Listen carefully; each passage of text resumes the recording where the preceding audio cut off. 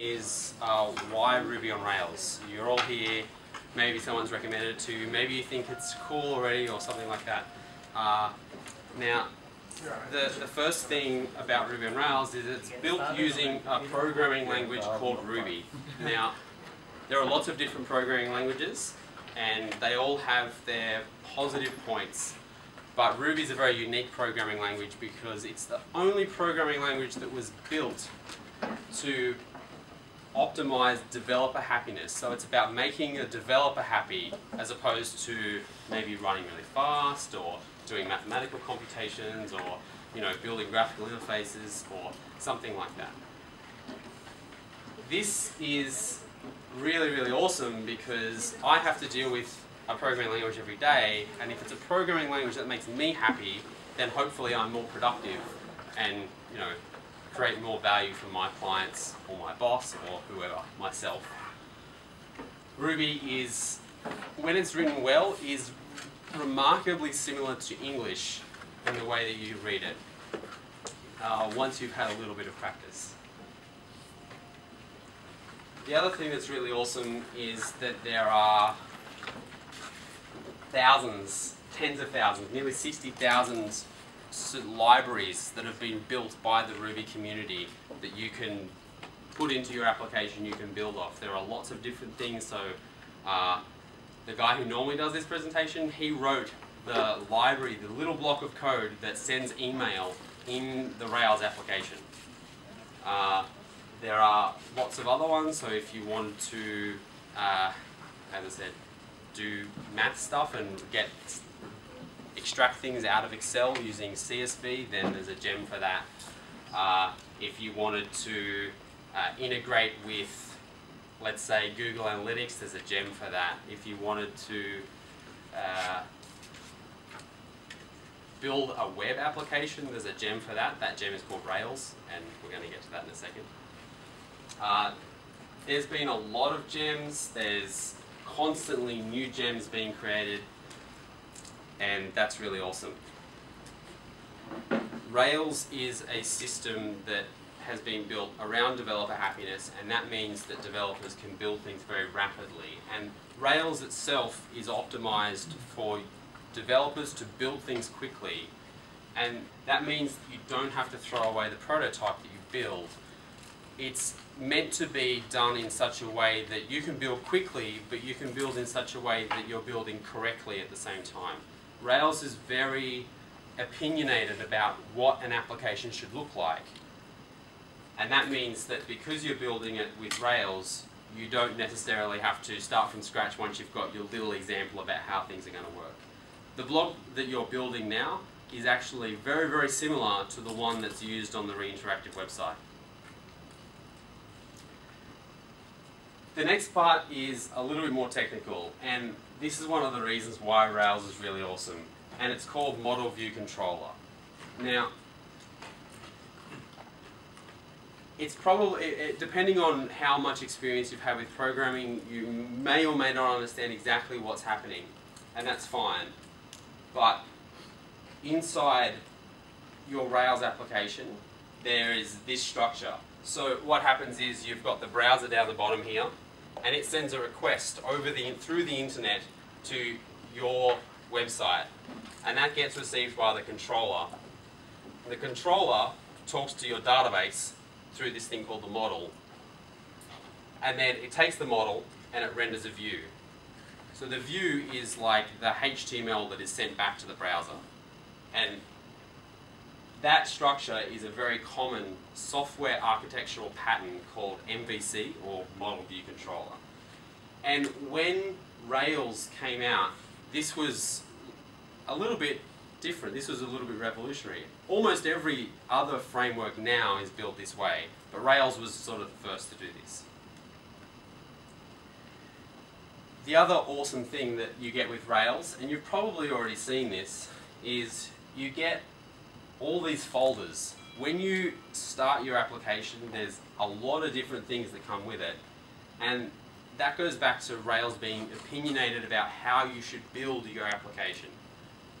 Part of that, those opinions are where should you put things inside your application, what it should look like, And this means that if uh, you know another developer comes along and looks at your blog, they'll be able to instantly know where to go to find the logic for your application and all that sort of good stuff. So just as an example, if you wanted to put an image into your application, it goes into App, Assets, Images.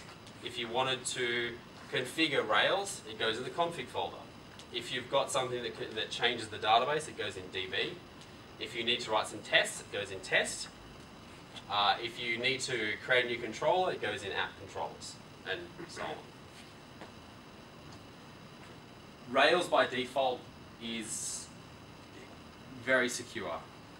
It's not perfect, and there are occasionally issues, but a lot of the things that would you'd have to spend a lot of time thinking about if you build it from scratch, build your own thing, it just handles by default. So if you do it the Rails way, you probably won't have any problems with cross-site scripting attacks, SQL injection, session, hi session hijacking, and uh, a bunch of other things.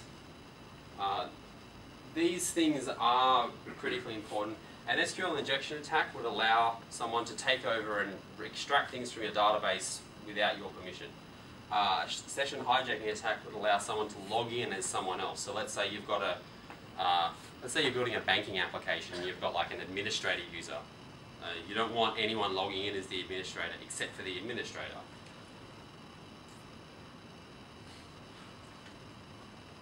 Rails supports a lot of different things. Uh, so it comes by default with very powerful JavaScript support. Uh, it can also support XML and JSON. XML is going to be covered by the blog, so if, you, if you've ever heard of a thing called RSS, then uh, you're going to learn about that in the guide. Uh, you can do something called Ajax. Ajax is uh, a way of enhancing the website so that performs and behaves in a much nicer way. Uh, feels a lot more smooth, and Rails supports that by default. Uh, if you think back to this thing here, you'll notice the database sits down the bottom here and it's protected from the controller by this model. So one of the really cool things about Rails is you don't have to understand SQL or the database to store things in a database. Instead of writing select star from comments where post ID equals 3, you can just say find me the post that's number 3 and then give me the comments for it. So that's, that's the bottom part is just a little bit of Ruby code and the top part is just SQL. Because of that, you can also run it on lots of different types of databases and that's really awesome as well. One of the things that you'll do with the blog is you're building it using a database called SQLite. It's a very simple, easy to use database, but it's not really suitable for production servers. So if you want to deploy something to the internet, you probably don't want to use SQLite. But when you deploy to Heroku later on tonight, it's going to automatically change your database from SQLite to Postgres, which is another database server, and that's handled because Rails can just do any type of database you can probably think of.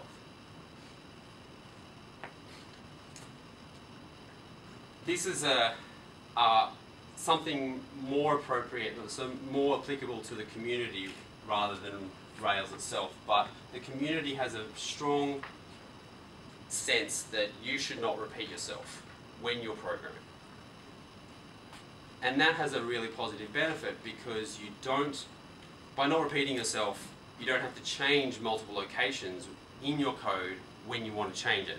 So if you've if you've coded two things that look exactly the same, but they're slightly different, then Rails would try to steer you away from doing that. It doesn't prevent you from doing this, but generally speaking, it tries to steer you away from it.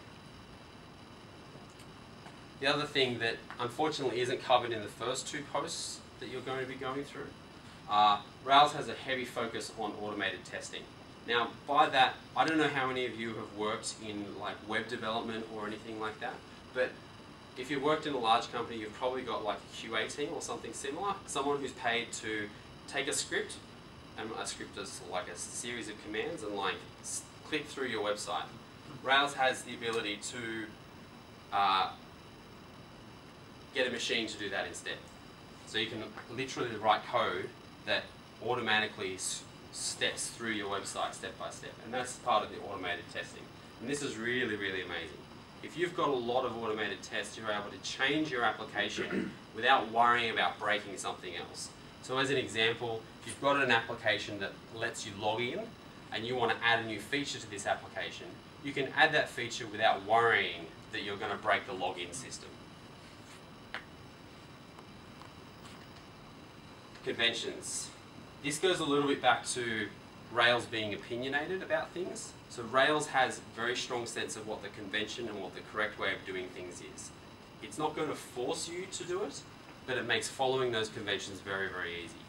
This makes it easier for new developers to get started, and it also makes it very easy for other developers to come along and help you out because they don't have to learn your way of doing things provided you're doing it the Rails way. Anyway, let's keep going and keep eating. I was hoping more people would be eating rather than just looking at it.